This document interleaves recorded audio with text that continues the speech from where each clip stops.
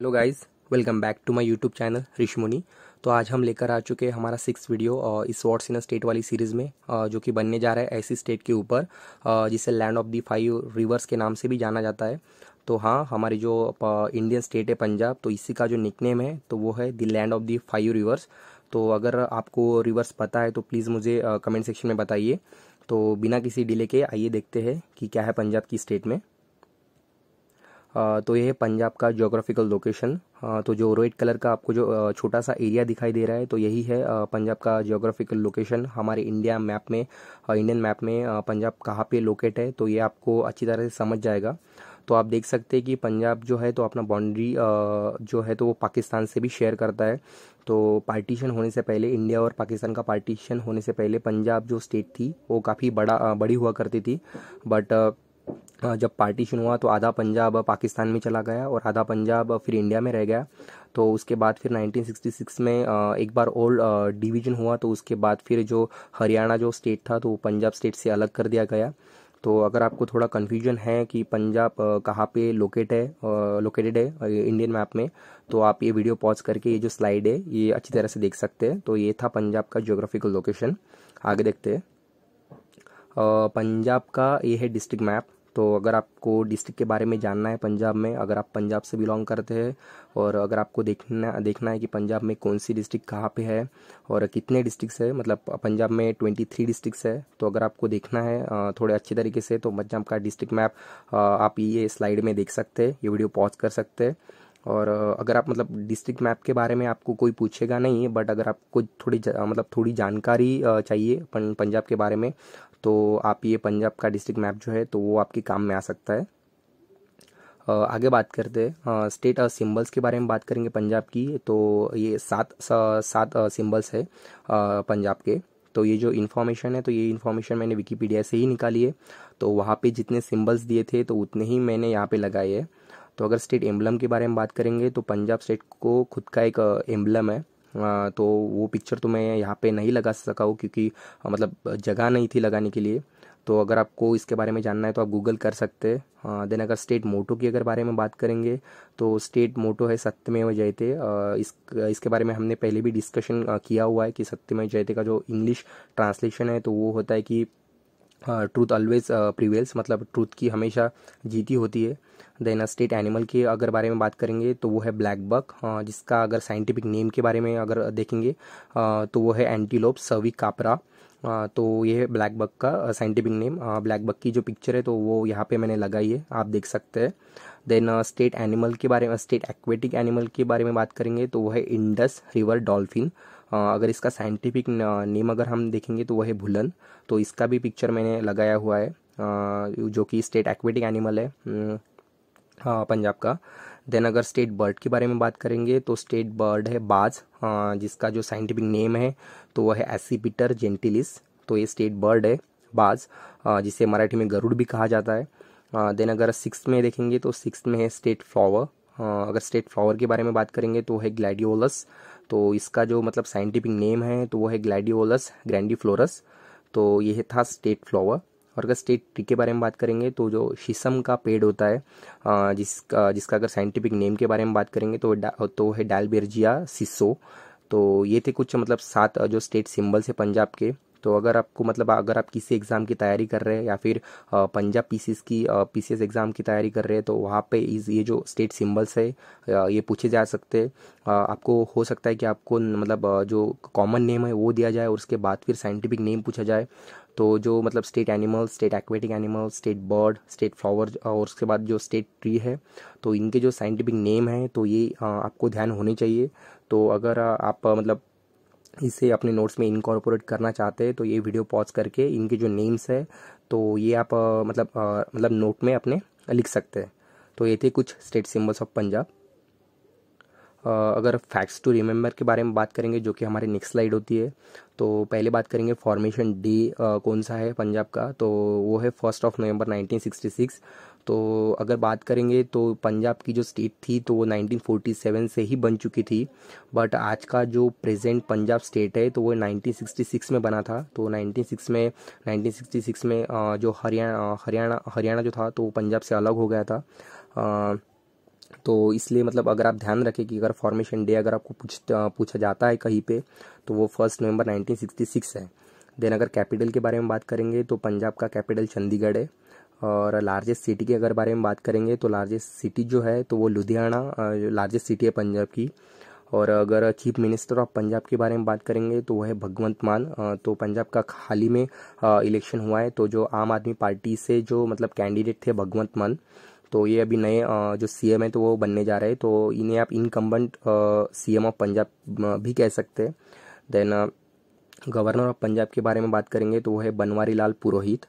Then next है chief justice of high court of Punjab तो अगर आपको चीफ जस्टिस कहाँ पे, कहीं पे पूछा जाता है पंजाब हाई कोर्ट का तो वो है honourable mister justice Ravishankar Jha then अगर नंबर ऑफ़ डिस्ट्रिक्ट्स के बारे में बात करेंगे तो अभी हमने नेक्स्ट टू पिछले स्लाइड में ही बात की है कि जो नंबर ऑफ़ डिस्ट्रिक्ट्स है तो वो ट्वेंटी थ्री है. देन नंबर ऑफ़ तालुकास के बारे में बात करेंगे तो वो है नाइन्टी थ्री देन जो एम एल एज है एम एल ए की जो सीट्स है, जो पंजाब में आती है तो वो है one hundred and seventeen then Lok Sabha seats के बारे में बात करेंगे तो लोकसभा सीट्स जो अलोकेटेड हुई है पंजाब स्टेट को तो वो है थर्टीन और राज्यसभा सीट्स के बारे में बात करेंगे तो राज्यसभा सीट्स है सेवन तो ये थे कुछ फैक्ट्स टू रिमेंबर तो इन्हें आप थोड़ा ध्यान में रखें, क्योंकि अगर आपको जनरल नॉलेज का भी क्वेश्चन आता है तो ये मतलब फॉर्म हो सकता है ये जो फैक्ट्स है तो इनमें से तो इन्हें आप थोड़ा ध्यान में रखें. देन अगर हिस्ट्री ऑफ़ पंजाब के बारे में बात करेंगे तो जैसे कि हम मतलब हमारा जो पैटर्न रहता है, वो फॉलो करते तो वही इस बार भी फॉलो करेंगे। तो जो फ़र्स्ट पॉइंट है तो वो है first the first known documentation of the word Punjab is in the writings of Ibn Battuta who visited the region in the fourteen century तो जो फ़र्स्ट पॉइंट है तो वो है कि जो पंजाब का जो मतलब फ़र्स्ट नोन डॉक्यूमेंटेशन था, जो ये जो वर्ड है पंजाब तो ये जो अगर कहाँ पे पहली बार दिखाई गया था तो जो इब्न बतूता थे तो उनके जो, उनकी जो राइटिंग्स थी मतलब इब्न बतूता एक ट्रैवलर थे जो कि मोरक्को से आए थे तो ये मतलब अलग अलग जगह पे ट्रैवल करते थे, वहाँ पे, वहाँ का जो कल्चर है, वहाँ के जो कस्टम्स है तो उनके बारे में ये राइटिंग्स बनाते थे लिखते थे। तो ये जो पंजाबी जो वर्ड है तो इनके जो डॉक्यूमेंटेशन में है तो फ़र्स्ट मतलब पहली दफ़ा इनके डॉक्यूमेंटेशन में पाया गया था जो कि इब्न बतूता हमारे इंडिया में फोर्टीन सेंचुरी में विज़िट करने आए थे। तो अगर पंजाब का अगर लिटरल मीनिंग देखें तो पंच का मतलब होता है पाँच और अप का मतलब होता है आ, मतलब लैंड बिटवीन द रिवर्स तो मतलब दो आप का होता है कि जो लैंड होते तो जो दो रिवर्स के बीच में जो लैंड होती है उसे दो आप कहा जाता है और जो पाँच जो रिवर्स के बीच में जो लैंड होती है तो उसे पंच पंजाब कहा जाता है। तो ऐसे पंजाब का मतलब जो नेम है तो वो ओरिजिनेट हुआ है। देन सेकेंड पॉइंट देखते हैं कि the reference of Punjab can also be found in the volume of Ain i Akbari written by Abul Fazl, where Punjab describes the territory that can be divided into provinces of Lahore and Multan. Then अगर second point के अगर बारे में बात करेंगे तो पंजाब का और एक ज़िक्र आता है एन अकबरी में जो कि मतलब आप बोल सकते हैं कि जो the great Akbar Mughal emperor था मुगल मुगल एम्पर थे तो उनका, उनके जो ऑटोबायोग्राफी आप कह सकते हैं जो कि मतलब अबुल फजल ने लिखी है जिनका मतलब एन अकबरी। तो इसके तीन वॉल्यूम्स है तो जो फ़र्स्ट वॉल्यूम है तो उसमें पंजाब का ज़िक्र आता है। तो उसमें देखेंगे तो पंजाब का जो डिस्क्रिप्शन वहाँ पे लिखा हुआ है तो वो है कि ऐसी टेरिटरी जो कि लाहौर और मुल्तान के प्रोविंसेस में बटी हुई है तो उसे उसे उसे, उस लैंड को ही पंजाब कहा जाता है।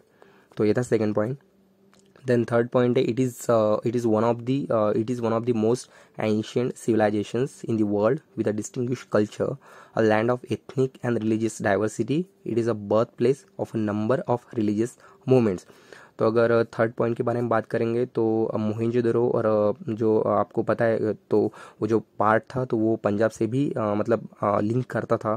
तो इसलिए बोला है कि जो एंशियंट सिविलाइजेशन हो चुकी है जो कि जिससे हम इंडस वैली सिविलाइजेशन के नाम से भी जाना जा, जान, जानते हैं तो जो पंजाब का स्टेट है तो वो उसी का मतलब कभी पार्ट हुआ करता था। तो जो मतलब पंजाब की जो लैंड है तो इसे एथनिक और रिलीजियस डाइवर्सिटी भी मिली हुई है। मतलब यहाँ पे अलग अलग मतलब अलग अलग रिलीजन के पीपल रहते हैं। मतलब मुस्लिम भी दिखेंगे, हिंदू भी दिखेंगे सिख कम्युनिटी भी आपको दिखेगी। और मतलब यहाँ पे, यहाँ से बहुत सारी जो रिलीजियस मूवमेंट्स आप बोल सकते हैं, जो सिख कम्युनिटी ने स्टार्ट की थी। तो ये जो मतलब बर्थ प्लेस आप जिसे कह सकते हैं कि एक जो पंजाब स्टेट है तो ये एक बर्थ प्लेस है रिलीजियस मूवमेंट्स की। देन फोर्थ पॉइंट देखेंगे। Uh, the Indian state of Punjab was created in 1947 uh, when the partition of India split the former Raj province of Punjab between India and Pakistan. Uh, जैसे कि मैंने आपको formation uh, day के बारे में बताया था कि मतलब uh, जो पार्टीशन हुआ था इंडिया और पाकिस्तान का uh, 1947 में तो उसी के टाइम पे जो पंजाब स्टेट थी तो फॉर्म हो चुकी थी बट uh, वो पंजाब हरियाणा को लेके इंक्लूड थी तो इसलिए uh, मतलब 1947 में uh, आप पंजाब जो बड़ी स्टेट थी हरियाणा को मतलब इंक्लूड करके तो वो बन चुकी थी, वो बन चुकी थी। Then the mostly Muslim western part of the province became Pakistan Punjab province the mostly Sikh eastern part became the India's Punjab state तो जैसे कि मैंने आपको बताया है कि पाकिस्तान में भी एक पंजाब प्रोविंस है तो जो पाकिस्तान का जो पंजाब प्रोविंस है तो वहाँ पे जो मुस्लिम कम्युनिटी है तो वो मेजोरिटी में है। और जो ईस्टर्न पार्ट था, जो कि इंडिया से बिलोंग करता है तो वहाँ पे जो पंजाबी, या फिर सिख कम्युनिटी थी तो वो वहाँ पे लार्ज इन नंबर्स थी तो वहाँ पे जो ईस्टर्न पार्ट था तो उसे इंडिया का पंजाब कहते हैं। और जो बाकी जो मुस्लिम कम्युनिटी वाला जो पंजाब है तो वो अभी पाकिस्तान में लाया करता है। Then in 1950 two separate states were created first was Punjab and the second was the Patiala and east Punjab states union जिसे पेप्सू भी कहा जाता है। तो 1950 मतलब 1947 के बाद जो तीन साल हुए तो तीन साल में दो अलग सेपरेट स्टेट बनाई गई थी। तो एक था पंजाब और दूसरा था the Patiala and east Punjab states union. तो जिसका अगर शॉर्ट फॉर्म देखें हम तो वो था पेप्सू। तो इन्हें आप ध्यान में रखें कि पेप्सू का अगर लॉन्ग फॉर्म या फिर फुल फॉर्म जिसे कह सकते हैं कि अगर पूछने को आता है कहीं पे या फिर आपको कोई पूछता है तो आप इसे थोड़ा ध्यान में रखें जो कि हिस्ट्री ऑफ़ पंजाब में आता है। Then first CM of Punjab के बारे में बात करेंगे तो वो थे गोपी चंद भार्गवा। और अगर फ़र्स्ट गवर्नर के बारे में बात करते हैं तो फ़र्स्ट गवर्नर ऑफ़ पंजाब थे चंदूलाल माधवलाल त्रिवेदी। तो ये थी कुछ हिस्ट्री ऑफ़ पंजाब अगर आप पंजाब से बिलोंग करते हैं और आपको अगर पंजाब की हिस्ट्री नहीं पता है तो प्लीज़ इसे आप थोड़ा ध्यान में रखें। अगर आप नोट्स बनाना चाहते हैं तो नोट्स भी आप बना सकते हैं। तो ये थी हिस्ट्री ऑफ़ पंजाब। तो अभी ज्योग्राफी ऑफ़ पंजाब के बारे में बात करेंगे तो फ़र्स्ट पॉइंट है, Punjab is a state in northern India forming part of the larger Punjab region of the Indian subcontinent this state is bordered by the Indian state of Himachal Pradesh to the north and north east Haryana to the south and south east and uh, Rajasthan uh, to the southwest uh, by the Indian Union territories of Chandigarh to the east and Jammu and Kashmir to the north. तो पंजाब का अगर geographical location देखें तो हमने पहले ही देखा हुआ है कि जो पंजाब है जो स्टेट है तो ये नॉर्थ वेस्ट साइड में आते ही इंडिया के तो अगर बाउंड्री मतलब बाकी इंडियन स्टेट्स के बारे में बात करेंगे, जो कि बाउंड्री शेयर करता है पंजाब के साथ तो अगर जो हिमाचल प्रदेश के बारे में बात करेंगे तो नॉर्थ और नॉर्थ ईस्ट के साइड से, जो इंडियन स्टेट लाई करती है तो वह हिमाचल प्रदेश। देन साउथ और साउथ ईस्ट में पंजाब अपना बाउंड्री हरियाणा के साथ शेयर करता है। देन अगर साउथ वेस्ट के बारे में बात करेंगे तो इंडिया की सबसे बड़ी स्टेट एरिया एरिया तो राजस्थान के साथ अपना बाउंड्री शेयर करता है। और अगर यूनियन टेरिटरीज के बारे में बात करेंगे तो चंडीगढ़ जो है तो इसके साइड से पंजाब पंजाब अपना बाउंड्री चंडीगढ़ से मतलब शेयर करता है। और जम्मू एंड कश्मीर के अगर बारे में बात करेंगे तो जम्मू एंड कश्मीर पंजाब के नॉर्थ में लाया करता है। तो ये था first point this state covers an area of fifty thousand three hundred sixty two kilometre square which is one point five three percent of India's total geographical area तो अगर एरिया के बारे में बात करेंगे पंजाब स्टेट की तो वो है fifty thousand three hundred sixty two kilometre square और मतलब जो कि इंडिया का जो टोटल जियोग्राफिकल एरिया है, जिस उसका 1.53 परसेंट ऑक्यूपाई करता है वही, जिसे नाइनटीन लार्जेस्ट इंडियन स्टेट बनाता है अट्ठाईस इंडियन स्टेट्स में से, पंजाब. मतलब पंजाब नाइनटीन सबसे बड़ा स्टेट है area wise with over 27 million inhabitants Punjab is the sixteen largest Indian state by population तो अगर पॉपुलेशन के रैंकिंग में देखें तो पंजाब सिक्सटीन नंबर पे लाया करता है जिसका पॉपुलेशन है twenty seven million third point देखेंगे Punjabi written in Gurmukhi script is the most widely spoken and the official language of the state तो अगर ऑफिशियल लैंग्वेज के बारे में बात करेंगे पंजाब के तो वो है पंजाबी।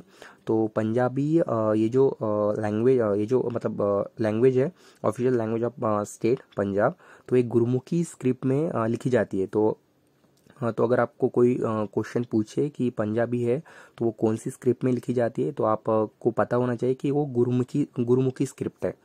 देन इकोनॉमी के अगर बारे में बात करेंगे तो the economy of Punjab is the fifteenth largest state economy in India with rupees five point two nine trillion in gross domestic product and per capita G D P of rupees one lakh fifty one thousand three hundred sixty seven ranking seventeen amongst Indian state तो अगर economy के अगर बारे में बात करेंगे fifteen largest economy है हमारे इंडियन स्टेट्स में से।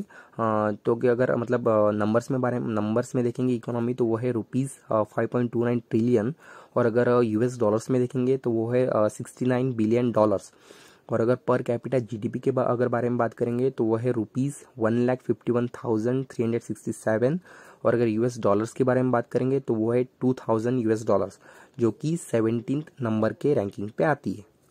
देन अगर लिटरेसी रेट के बारे में बात करेंगे, पंजाब की तो वो कैलकुलेटेड है 76.68 परसेंट मतलब seventy six point six eight percent जो पॉपुलेशन है पंजाब की तो वो लिटरेट है। देन ह्यूमन डेवलपमेंट इंडेक्स के बारे में बात करेंगे तो वो है zero point seven two four और अगर सेक्स रेशियो के बारे में बात करेंगे तो eight hundred eighty six females per thousand males next point अगर देखेंगे तो इम्पोर्टेंट रिवर्स ऑफ़ पंजाब तो पंजाब का जो लिटरल मीनिंग है तो ये मैंने आपको पहले ही बताया हुआ है और आपको मैंने पूछा था कि जो पाँच रिवर्स है तो वो कौन सी है? तो मैं ही आपको बता देता हूँ कि जो पाँच रिवर्स है तो वो है सतलज, बीस, रावी, चेनाब एंड झेलम। तो इसे आप ज़रूर याद रखें। और अगर इम्पोर्टेंट माउंटेन्स इंपॉर्टेंट पिक्स के बारे में बात करेंगे पंजाब की तो दो नंगा पर्वत है तो Nanga Parbat is the highest peak of Punjab तो अगर आपको क्वेश्चन आता है जीके की पेपर्स में कि आ, मतलब हाईएस्ट पीक कौन सा है पंजाब का तो वो है नंगा पर्वत. और अदर पिक्स अगर देखेंगे हम इंपॉर्टेंट पिक्स देखेंगे अदर पंजाब के तो वही सिल्वर क्रैग नन और कुन और बाकी भी बहुत सारी पिक्स है बट आपके लिए इंपॉर्टेंट रहेगा कि हाईएस्ट पिक कौन सा है. तो उसे आप ध्यान में रखें कि वो है नंगा पर्वत. तो ये थी ज्योग्राफी ऑफ़ पंजाब आगे देखते हैं। अगर मेजर डैम्स इन पंजाब के बारे में बात करेंगे तो फ़र्स्ट में है थेन जिसे रंजीत सागर डैम के नाम से भी जाना जाता है। तो it is an earthen dam build on the Ravi river purpose purpose of dam is irrigation and hydroelectric power supply तो जो रंजीत सागर डैम है, जिसे थेन के नाम से भी जाना जाता है तो एक मतलब मिट्टी से बना हुआ मड से बना हुआ एक डैम है। तो वो जो है तो रावी रिवर के ऊपर बनाया हुआ है। और अगर इसका हम पर्पस देखें डैम का डैम को बनाने का तो वो है बेसिकली इरिगेशन और दूसरा है हाइड्रो इलेक्ट्रिक पावर सप्लाई तो इससे मतलब जो इलेक्ट्रिसिटी है तो वो भी जनरेट की जाती है। देन थाना डैम के बारे में पढ़ेंगे। The Thana dam is a multipurpose project of the state Punjab on in the Hoshiarpur district तो अगर थाना डैम के बारे में बात करेंगे तो पंजाब के होशियारपुर डिस्ट्रिक्ट में लाई करता है। तो ये भी एक मल्टीपर्पज़ प्रोजेक्ट है। देन सिसवान डैम के बारे में बात करेंगे। तो the Siswan dam is a multipurpose river valley project on the Siswan Khad river located near Ropar city. तो ये जो सिसवान डैम है तो ये भी एक मल्टीपर्पज़ रिवर वैली प्रोजेक्ट है। और अगर ये किस रिवर के ऊपर बनाया हुआ है, इस, ऐसा अगर मतलब ऐसा अगर आपको क्वेश्चन आता है तो आप मतलब थोड़ा आपको इजीली क्लिक हो जाएगा कि ये जो प्रोजेक्ट है तो ये सिसवान खाड रिवर के नाम रिवर के ऊपर ही बना हुआ है। और जो कि रोपर सिटी जो है पंजाब की तो उसी के आसपास लोकेटेड है। देन पर्च डैम के बारे में बात करेंगे तो it is an earthen dam built on Perch Khad river serving multipurpose like irrigation and flood control dam is located near the Ropar city तो एक और डैम है जो कि रोपर सिटी के आसपास ही लोकेटेड है तो वो है पर्च डैम तो ये भी एक अर्दन डैम है, जो कि पर्च खाड नाम की रिवर के ऊपर ही बना हुआ है। और ये भी मतलब मल्टीपर्पज़ सर्व करता है जैसे कि इरिगेशन रहा और फ्लड का कंट्रोल रहा। तो पर्च डैम एक मल्टीपर्पज़ प्रोजेक्ट है। देन फिफ्थ नंबर पे है चौहाल डैम। तो this dam has provided irrigation facility to approximately 900 hectares this dam is located 0.5 kilometre on the upper east side of the village Chohal तो Chohal dam जो है तो चौहाल नाम का जो विलेज है तो उसी के आसपास मतलब लाया करता है। तो अगर इसका मतलब फ़ंक्शन देखें तो ये इरिगेशन फैसिलिटी के काम में आता है, जो कि 900 हेक्टर्स के एरिया में अपना जो पानी है तो वो प्रोवाइड करता है। तो ये थी कुछ मेजर डैम्स इन पंजाब आगे देखते हैं। तो अगर फेस्टिवल्स ऑफ़ पंजाब के बारे में बात करेंगे तो फ़र्स्ट में है मैंने यहाँ पे मतलब लगाया है लोहरी जिसे जिसके मतलब आगे लिखा हुआ है विंटर हार्वेस्ट फेस्टिवल जिसकी पिक्चर मैंने यहाँ पे लगाई है। तो ये फ़र्स्ट पिक्चर है। तो ये जो फ़र्स्ट फ़र्स्ट पिक्चर है तो ये लोहरी फेस्टिवल की ही है। तो लोहरी जो फेस्टिवल है तो जो मतलब विंटर के टाइम पे इस फेस्टिवल को मनाया जाता है, जो कि राबी क्रॉप्स के राबी जो क्रॉप्स रहते हैं, उनके हार्वेस्टिंग के बाद इस लोहरी नाम के फेस्टिवल को जो पंजाब के पीपल है, Hindu people then Sikh people इसे मनाते हैं। तो इस टाइम पे जो मतलब पीपल रहते हैं तो वो जो मतलब सन रहता है देन फायर रहता है तो उसको उनको वर्शिप करते हैं और उनको मतलब थैंक्स बोलते हैं कि उनका जो हार्वेस्टिंग रहा तो वो अच्छा हुआ, उनके लिए मतलब आगे पूरे साल फ़ायदे के लिए रहेगा। तो इस टाइम पे वो जो रहते हैं पीपल तो वो सन और फायर को थैंक्स बोलते हैं। देन बैसाखी के बारे में अगर बारे में बात करेंगे तो बैसाखी एक स्प्रिंग स्प्रिंग में आने वाला हार्वेस्ट फेस्टिवल्स है, जो कि सिख पीपल और हिंदू पीपल के लिए कॉमन है। तो ये जो अप्रैल महीने में थर्टीन और फोर्टीन के आसपास इसे मनाया जाता है। तो इसे जो सिख कम्युनिटी है, सिख पीपल है तो उनके लिए एक नया साल के तौर तौर से भी इसे मनाया जाता है। तो और एक और इम्पोर्टेंस है बैसाखी का कि जो गुरु गोविंद सिंह जी थे तो इन्होंने 1699 में खालसा पंथ की स्थापना की थी। तो उसी के कमोमेरेशन में भी जो बैसाखी जो फेस्टिवल है तो इसे मनाया जाता है। देन थर्ड पे होला मोहल्ला। तो होला मोहल्ला के अगर बारे में बात करेंगे तो ये जो सेकंड पिक्चर यहाँ पे मैंने लगाई है तो ये होला मोहल्ला की है। तो होला मोहल्ला के बारे में बात करेंगे तो जो सिख कम्युनिटी है तो उनके मतलब उनके बीच में ब्रदरहुड फ्रैटर्निटी और जो उनका शौर्य है, जो उनका करेज है तो उसे मतलब एक्सप्रेस करने के लिए, उसको डिपिक करने के लिए ये जो होला मोहल्ला ये फेस्टिवल मनाया जाता है।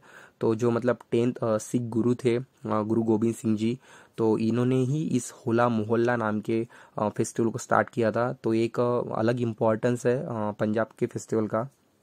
देन करवा चौथ के बारे में बात करेंगे तो आई होप कि करवा चौथ का नाम आपने सुना होगा।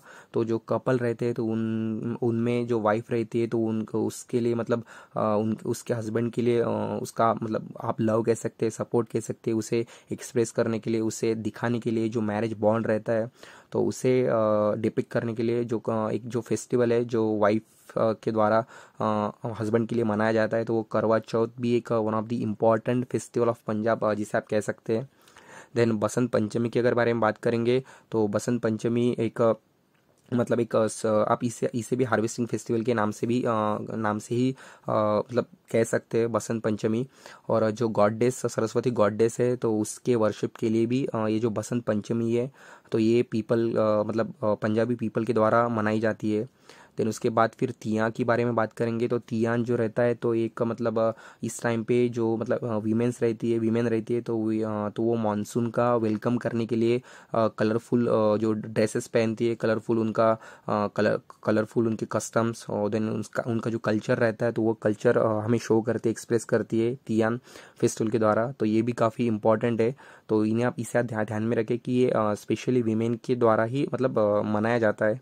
देन छपर मेला के बारे अगर बारे में बात करेंगे तो ये कल्चरल फेयर है जो कि पंजाब में मनाया जाता है। तो मतलब इस छपर मेले के द्वारा अगर आपको पंजाब का कल्चर जानना है तो छपर मेला में आप जा सकते हैं। तो आपको मतलब जो पूरा ब्यूटी रहेगा मतलब पंजाब का तो वो आपको इस छपर मेला के द्वारा देखने को मिलेगा। देन ज़ोर मेला जो है तो जो मतलब साहिब ज़ादास थे तो साहिब ज़ादास के कमेमोरेशन में, उनके होमेज में इस ज़ोर मेला को जो पंजाबी सिख कम्युनिटी है तो वो इसे बड़े धूमधाम से मनाती है। देन अगर नाइन्थ नंबर पे टिक्का आप मतलब आगे देखेंगे कि सेलिब्रेटिंग सिबलिंग हुड तो जो भाई दूज है, जिसे इंडिया में भाई दूज के नाम से जाना जाता है तो वो पंजाब में टिक्का नाम से जाना, जानी जाती है, जो कि दिवाली के बाद मनाई जाती है भाई दूज। तो ये भी जो टिक्का जो फेस्टिवल है तो ये भी मतलब दिवाली के बाद ही मनाई जाती है, जो एक फोर्थ नंबर फोर्थ की जो फोर्थ जो पिक्चर है तो ये टीका जो टीका जो फेस्टिवल है तो उसी के है। और ये जो थर्ड पिक्चर आप देख रही है तो ये तिया फेस्टिवल की है तो आप देख सकते हैं कि तिया फेस्टिवल में आपको सिर्फ़ वहाँ पे वीमेन देखेंगी कलरफुल ड्रेसेस पहनी हुई। देन गुरु पूरब के बारे में बात करेंगे तो जिसे आप गुरु नानक जयंती के नाम से जानते हैं तो वो पंजाब में गुरु पूरब के नाम से जानी जाती है। तो ये बोल सकते कि मोस्ट इंपॉर्टेंट फेस्टिवल जिसे कहा जाता है गुरु पूरब को। तो गुरु पूरब भी एक uh, मतलब uh, आप बोल सकते कि मोस्ट इंपॉर्टेंट फेस्टिवल है पंजाब का। तो इसे आप ध्यान में रखें क्योंकि अगर किसी एग्ज़ाम में इनमें से कोई भी फेस्टिवल आता है और आपको पूछ पूछा जाता है कि मतलब कौन सी स्टेट है ये कौन सी स्टेट से बिलोंग करता है तो आपको मतलब पता होना चाहिए। तो ये थे कुछ दस फेस्टिवल्स ऑफ़ पंजाब। आगे जाते हैं। सॉरी डांसेस ऑफ़ पंजाब के बारे में बात करेंगे। तो भांगड़ा जो है तो भांगड़ा हार्वेस्टिंग के टाइम पे लोग मतलब पसंद करते हैं। तो आप देख सकते हैं कि जो फ़र्स्ट पिक्चर है तो ये भांगड़ा की है। यहाँ पे आपको वीमेन भी दिखेंगे देन मेन भी दिखेंगे। तो ये मतलब अलग उनका जो मतलब कल्चरल ड्रेस है कल्चरल कॉस्ट्यूम है तो वो पहन के डांस फॉर्म कर रहे हैं। तो भांगड़ा एक बहुत ही, आप बोल सकते कि बहुत ही ज़्यादा इनर्जेटिक डांस फॉर्म है, जो कि पंजाब से आता है। देन गिद्धा की अगर बारे में बात करेंगे तो गिद्धा ये जो डांस फॉर्म है तो ये स्पेशली वीमेन के द्वारा परफॉर्म किया जाता है। तो ये तो मतलब आप बोल सकते हैं कि स्पेशली वीमेन परफॉर्म करती है और भांगड़ा से कम लेस एनर्जेटिक आप जिसे बोल सकते हैं। तो ये भी एक फोक डांस फॉर्म है पंजाब का। देन झूमर के बारे में बात करेंगे तो सेकंड पिक्चर आप अगर देख सकते हैं तो सेकंड पिक्चर झूमर की है। तो ये जो झूमर है, जो डांस फॉर्म है तो मतलब जो पंजाबी पीपल के जो शादियाँ होती है तो शादियों शादियों में जो हैप्पीनेस रहती है मतलब वैसे आपको पता है कि पंजाबी पीपल बहुत ही ज़्यादा हैप्पी होते हैं। तो झूमर के टाइम पे लोग इस डांस फॉर्म के द्वारा उनका जो हैप्पीनेस है तो वो एक्सप्रेस करते हैं। तो इसका भी एक, आप बोल सकते हैं कि हिस्टोरिकल इम्पोर्टेंस है देन कल्चरल इम्पोर्टेंस है सिख पीपल के लिए। देन अगर मालावी के बारे में बात करेंगे तो मालावी मालवा रीजन जो आता है पंजाब में तो वहाँ से जो पीपल बिलोंग करते हैं तो मालावी एक डांस फॉर्म है तो उनके द्वारा मनाया जाता है। देन पाँच नंबर फिफ्थ नंबर पे सामी। तो सामी ये जो डांस फॉर्म है तो पंजाब में जो ट्राइबल कम्युनिटी है तो वो इसे मतलब इसे धूमधाम से आ, मतलब गाना मतलब म्यूज़िक के द्वारा डांस फॉर्म के द्वारा इस सामी डांस को परफॉर्म किया जाता है। देन सिक्स नंबर पे डंकारा। तो ये जो थर्ड पिक्चर है तो ये डंकारा की ही पिक्चर है, जहाँ पे आप देख सकते हैं कि दो मतलब दो मतलब बोल सकते हैं कि दो मैन है तो उनके हाथ में एक शील्ड है और एक सॉर्ड है। तो वो जो वैलोर दिखाते हैं, जो करेज दिखाते हैं उसी के साथ डांस परफॉर्म किया जाता है। बड़ी बड़ी मतलब स्टोरीज जो है तो वो स्टोरीज नैरेट की जाती है। तो वो एक डांस फॉर्म है डंकारा जिसे कहा जाता है। देन अगर धमाल के बारे में बात करेंगे तो ढोल, ताशे, नगाड़े के साथ धमाल, ये जो डांस फॉर्म है म्यूज़िक के साथ डांस फॉर्म के साथ अलग अलग और उनका जो रिच कल्चर है तो वो इस धमाल के द्वारा दिखाई दिखाया जा, दिखाया जाता है। देन गटका के अगर बारे में बात करेंगे तो गटका एक मार्शल आर्ट का डांस फॉर्म है जो कि जो सिख पीपल है पंजाब के और अदर जो मतलब रिलेटेड एथनिक ग्रुप्स है जैसे कि हिंदू कोवंस हुए तो वो इसे गटका को डांस इस गटका डांस को परफॉर्म करते हैं। देन अगर जागो के बारे में बात करेंगे तो जागो का अगर आप लिटरल मीनिंग देखेंगे तो जागो का मतलब होता है वेकअप तो जैसे कि मतलब नाम है तो इसी के मतलब जो वेडिंग सेलिब्रेशंस रहते हैं जो पंजाबी पीपल रहते हैं तो उनके जो वेडिंग सेलिब्रेशंस रहते हैं तो उसके टाइम पे जो मतलब जो यंग गर्ल्स रहती है तो वो सर पे, आप देख सकते हैं फोर्थ पिक्चर में कि सर पे एक मतलब पॉट है उसके ऊपर कुछ दिए लीड किए हुए हैं. तो ये जो मतलब गर्ल्स रहती है तो एक जागोन डांस फॉर्म जो परफॉर्म करती है, शादी के पहले जो मतलब शादी के पहले जो दिन होता है, या फिर आप बोल सकते हैं कि रात में इस डांस को परफॉर्म किया जाता है। तो ये भी एक काफ़ी आप बोल सकते हैं कि कल्चरल इंपॉर्टेंस रखता है हिस्टोरिकल इंपॉर्टेंस रखता है ये जो डांस फॉर्म है जागो तो इसे आप ध्यान में रखें। और अगर किकली के बारे में बात करेंगे तो किकली ये जो डांस फॉर्म है तो आप इसे मतलब इसे अलग अलग नाम से भी जाने जाते जाना जाता है। अगर आप महाराष्ट्र में देखेंगे तो महाराष्ट्र और गोवा में इसे फुगड़ी के नाम से जाना जाता है, जहाँ पे दो वुमेन जो उनके हैंड्स है तो वो हैंड्स लॉक करके जो मतलब ट्वर ट्वेल करती है, आप ही मतलब गोल गोल गोल गोल घूमती है तो वो जो डांस फॉर्म परफॉर्म किया जाता है तो उसे किकली कहते हैं। तो ये थे कुछ डांस फॉर्म्स ऑफ़ पंजाब तो इन्हें आप थोड़ा ध्यान में रखें। और अगर फ़ेमस डिशेस के बारे में बात करेंगे जो कि हमारा फेवरेट पार्ट होता है हमारे वीडियो का तो उसे अब हम डिस्कस करेंगे। तो फ़र्स्ट है बटर चिकन तो ये फ़र्स्ट पिक्चर है तो यहाँ पे मैंने बटर चिकन की ही लगाई है। तो आप देख सकते हैं कि यहाँ पे मतलब प्लेट में राइस है उसके बाद फिर थोड़ा चिकन है। तो चिकन में आ, मतलब चिकन बना है बटर में डाल के जो कि मतलब ऑरेंज कलर का कलर में आपको दिखाई दे रहा है। तो बटर चिकन काफ़ी लोगों में फ़ेमस है। आप मतलब आ, समझ सकते हैं कि जो पंजाबी पीपल है तो उनके कल्चर में जो नॉनवेज है तो वो काफ़ी मतलब आप बोल सकते हैं कि प्रिवेलिंग है तो बटर चिकन एक काफ़ी फ़ेमस डिश है पंजाब की। देन छोले भटूरे के बारे में बात करेंगे तो आपको छोले भटूरे डिश कैसी होती है, आपको पता है कि भटूरे मतलब जो बड़ी बड़ी पूरीज जो बनाई जाती है तो उन्हें भटूरे कहते हैं, और छोले मतलब जो चने होते हैं तो चने की जो जो सब्ज़ी बनाई जाती है तो उसे छोले भटूरे कहते हैं कि ये भी मतलब काफ़ी फ़ेमस है पंजाब में। देन पंजाबी पीपल बहुत ही ज़्यादा हैबिचुअल है पराठों के साथ। तो अलग अलग पराठे, जैसे कि मूली के पराठे हुए, आलू के पराठे हुए तो ये भी मतलब काफ़ी फ़ेमस है जो पंजाबी पीपल है उनमें। दाल मखनी के अगर बारे में बात करेंगे तो यहाँ पे मैंने जो सेकंड पिक्चर है यहाँ पे तो ये दाल मखनी की है। तो आप देख सकते हैं कि दाल को मतलब एक अलग फॉर्म के साथ बनाया हुआ है, बनाया हुआ है। तो मतलब दाल में अलग अलग दाल्स का जो मिक्सचर रहेगा तो उसके साथ जो डिश प्रिपेयर की जाती है तो उसे दाल मखनी कहते हैं। तो इससे लोग मतलब जो बटर रोटी रहेगी या फिर तंदूरी रोटी रहेगी तो उसके साथ खाना काफ़ी पसंद करते हैं। देन राजमा चावल के अगर बारे में बात करेंगे तो राजमा जो बीन्स रहती है, राजमा बीन्स तो उसी के साथ चावल को सर्व किया जाता है तो उसे को, उसी को राजमा चावल कहते हैं। तो आई होप मुझे ऐसा लगता है कि राजमा चावल क्या चीज़ है ये आपको पता है, आपने खाई भी होगी। देन पंजाब का नाम लेते ही अगर कुछ एक फ़ेमस डिश का नाम अगर आता है तो वो होता है कि सरसों का साग और मक्के दी रोटी। तो सरसों मतलब सरसों का साग एक मतलब आप बोल सकते कि ग्रीन कलर की डिश होती है, जिसे ग्रीन मस्टर्ड और ग्रीन पालक के साथ जिसे प्रिपेयर की जा प्रिपेयर किया जाता है। जिसमें जिंजर देन क्लोव्स के साथ अलग अलग स्पाइसेस के साथ इसे बनाया जाता है सरसों का साग। देन पिन्नी की अगर बारे में बात करेंगे तो पिन्नी आपको थर्ड नंबर पे एक डिश दिखेगी, जो कि पेढ़ी की तरह दिखाई दे रही है। तो आप मतलब मतलब आप पिक्चर से समझ गए होंगे कि पिन्नी एक स्वीट डिश है। जिसे पंजाबी पीपल डेजर्ट में देना पसंद करते हैं तो पिन्नी भी एक काफ़ी famous dish famous sweet dish जिसे आप कह सकते हैं पंजाब की। देन कुलछा के अगर बारे में बात करेंगे तो कुलछा एक आप बोल सकते हैं कि एक बड़ा सा पराठे की तरह ही दिखता है कुलछा बट थोड़ा अलग होता है। तो कुलछा काफ़ी लोगों में फ़ेमस है खाने के लिए। देन पालक पनीर के अगर बारे में बात करेंगे तो पालक पनीर आप सभी को पता है कि क्या रहता है कि पनीर जो कि पालक की एक प्यूरी बनाई जाती है मतलब अलग अलग स्पाइसेस में पका के उसमें जो पनीर डाला जाता है, उसके बाद जो फिर डिश प्रिपेयर की जाती है तो उसे पालक पनीर कहते हैं। देन टिक्का के अगर बारे में बात करेंगे तो ये जो फोर्थ पिक्चर है तो ये चिकन टिक्का है जिसमें जो चिकन है तो उसके स्मॉल स्मॉल पीसेस किए हुए हैं, उसके बाद फिर एक रॉड लिया हुआ है छोटा सा। उसमें उसको मतलब ऐसा पियर्स किया हुआ है और उसके उसके बाद फिर उसको रोस्ट किया हुआ है। तो ये चिकन टिक्का जो है मटन टिक्का जो है ये भी मतलब पंजाबी जो पीपल है आ, बाकी भी जो मतलब पंजाब पंजाब में अदर पीपल है तो उनमें जो काफ़ी फ़ेमस डिश है आ, ये जो चिकन टिक्का है। तो ये थी कुछ फ़ेमस डिशेस ऑफ़ पंजाब। आगे देखते हैं। देन टूरिस्ट डेस्टिनेशंस के बारे में बात करेंगे पंजाब में। तो फ़र्स्ट है अमृतसर। तो अमृतसर एक आप बोल सकते हैं कि पिलग्रिमेज है।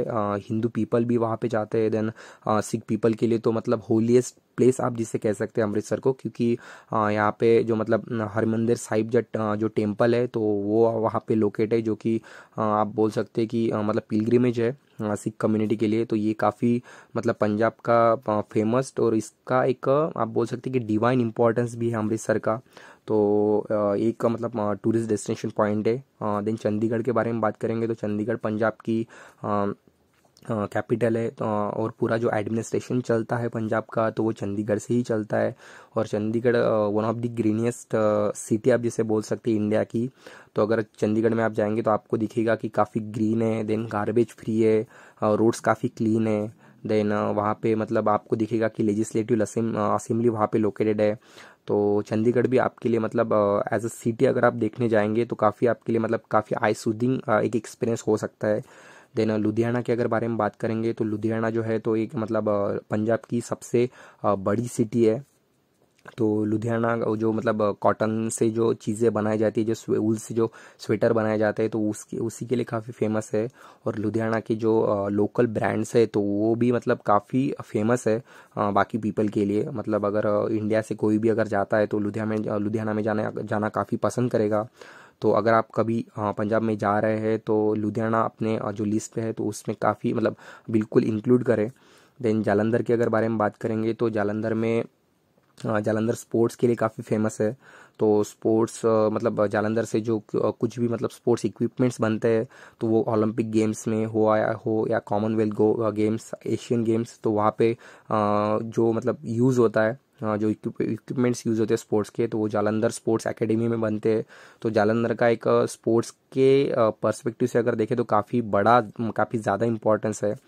देन मोहाली के अगर बारे में बात करेंगे तो मोहाली मोहाली में एक क्रिकेट स्टेडियम है मोहाली क्रिकेट स्टेडियम जहाँ पे 2011 में जो इंडिया वर्सेस पाकिस्तान का मैच हुआ था तो वो मोहाली में हुआ था तो, तो इंडिया में इंडिया उसमें जीता जीता जीता था 2011 में और तो मोहाली एज अ बोल सकते हैं कि जो स्पोर्ट्स लवर है क्रिकेट लवर है तो उनके लिए काफ़ी मतलब फ़ेमस पॉइंट है तो वहाँ पे लोग बड़े मतलब नंबर्स में वहाँ पे मैचेस देखने के लिए आते हैं।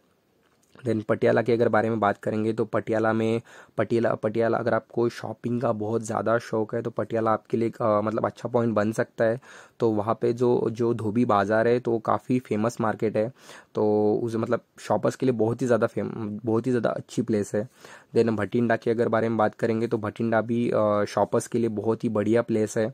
तो वहाँ पे आप मतलब Bathinda as a tourist destination आप देख सकते हैं कि जो भटिंडा में काफ़ी मतलब पगड़ी हुई या फिर परांडा वगैरह हुआ तो उसी के लिए काफ़ी फ़ेमस है। देन पठानकोट की अगर बारे में बात करेंगे तो पठानकोट ये जो वर्ड है तो ये पठान से निकला हुआ है। तो पठानकोट पठानकोट के अगर बारे में बात करेंगे तो पठानकोट ये जो प्लेस है तो ये जो इंडिया मिलिट्री के जो बेसिस है मिलिट्री बेसिस है तो उसी जो मिलिट्री बेसिस है तो वो यहाँ पे लोकेटेड है। तो पठानकोट का एक बोल सकते हैं कि आप जो मिलिट्री इंपॉर्टेंस है तो वो हमारे इंडिया इंडियन गवर्नमेंट के लिए काफ़ी ज़्यादा इंपॉर्टेंट है। पठानकोट ये जो सिटी है। देन गुरदासपुर के अगर बारे में बात करेंगे तो जो गुरु नानक जी थे जो मतलब जिन्होंने जो ये सिख कम्युनिटी है तो उनके काफ़ी बड़े आप बोल सकते कि बड़े भगवान जैसे आप बोल सकते हैं तो उनके जो लास्ट डेज़ थे तो वो इन्होंने यहाँ पे स्पेंड किए थे तो इसी के लिए इसका एक डिवाइन इंपॉर्टेंस है हिस्टोरिकल इंपॉर्टेंस है कल्चरल इंपॉर्टेंस है तो गुरदासपुर भी हिंदू और जो सिख पीपल बोल सकते हैं आप तो इनके लिए काफ़ी एक पिलग्रिमेज वाली प्लेस बन जाती है। देन कपूरतला के अगर बारे में बात करेंगे तो Kapurthala famous temples then mosques then जो गुरुद्वारे है तो उसके लिए काफ़ी फ़ेमस है कपूरतला और कपूरतला में सैनिक सैनिक स्कूल्स भी है। तो कपूरतला भी एक मतलब one of the important tourist destination point बन जाता है पंजाब का। तो अगर आप कभी पंजाब में जा रहे हैं तो ये जो मतलब टेन प्लेसेस है तो इनको आप अपनी लिस्ट में इनकॉर्पोरेट कर सकते हैं। आगे देखते हैं। तो अगर जीआई टैक्स के बारे में बात करेंगे पंजाब की तो वो है फुलकारी। तो फुलकारी क्या होती है? तो ये हमने डिस्कस किया हुआ है। तो आप फुलकारी मतलब एक आप बोल सकते हैं कि हैंडीक्राफ्ट जिसे आप बोल सकते हैं। तो ये भी मतलब पंजाब की जो फुलकारी है तो उसे जीआई टैग मिल चुका है।